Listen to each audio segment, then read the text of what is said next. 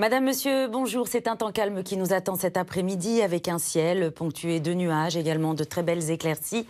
Voici donc la situation générale. Alors c'est vrai qu'on va bénéficier de conditions un petit peu plus anticycloniques euh, sur l'extrême nord du territoire, mais vous le voyez qu'on a cette dépression en provenance des îles britanniques qui est en train de glisser lentement vers l'Espagne et qui va nous renvoyer de l'instabilité, notamment demain. Alors cet après-midi, on va retrouver un ciel changeant, alternance de nuages et d'éclaircies sur un bon nombre de nos régions Très belles éclaircies en revanche le long de la vallée du Rhône, en redescendant euh, du côté de la Méditerranée. Un ciel un petit peu plus bouché euh, sur le relief des Pyrénées avec quelques averses attendues. Les températures pour euh, cet après-midi sont stationnaires par rapport à hier. On attend quand même jusqu'à 23 degrés pour la ville de Montpellier.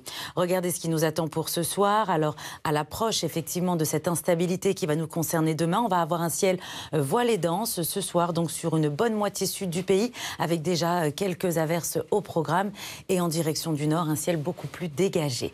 Demain matin, à votre réveil, on aura quand même de très belles éclaircies sur les régions du nord. Petite perturbation sur la pointe bretonne, un ciel bouché également au pied des Pyrénées, également du côté des Alpes. Et dans l'après-midi, eh bien vraiment cette instabilité va se dessiner euh, des Pyrénées en remontant vers l'Alsace avec des averses parfois orageuses, des orages qui pourrait être fort localement, euh, notamment sur l'ensemble des reliefs.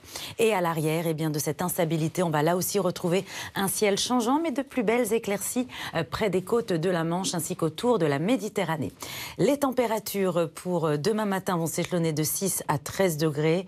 Et dans l'après-midi, eh bien, la maximale sera de 24 degrés pour Montélimar, 20 dans les rues de la capitale et 14 attendus pour le Cotentin. Regardez qui nous attend pour la suite avec effectivement cette instabilité qu'on va retrouver du sud-ouest en remontant vers le nord-est euh, du pays pour la journée de mercredi, avec des averses orageuses peut-être un petit peu plus fortes hein, sur les reliefs de l'Est. À l'arrière, le retour euh, de très belles éclaircies, notamment entre la région parisienne en remontant vers les Ardennes. Jeudi, on pourrait avoir une petite limite nuageuse, euh, sans grandes conséquences, notamment entre la Bretagne en remontant vers les régions du Nord, et toujours cette instabilité qui sera un petit peu plus présente sur les régions de l'Est, et entre les deux, de très belles période d'ensoleillement.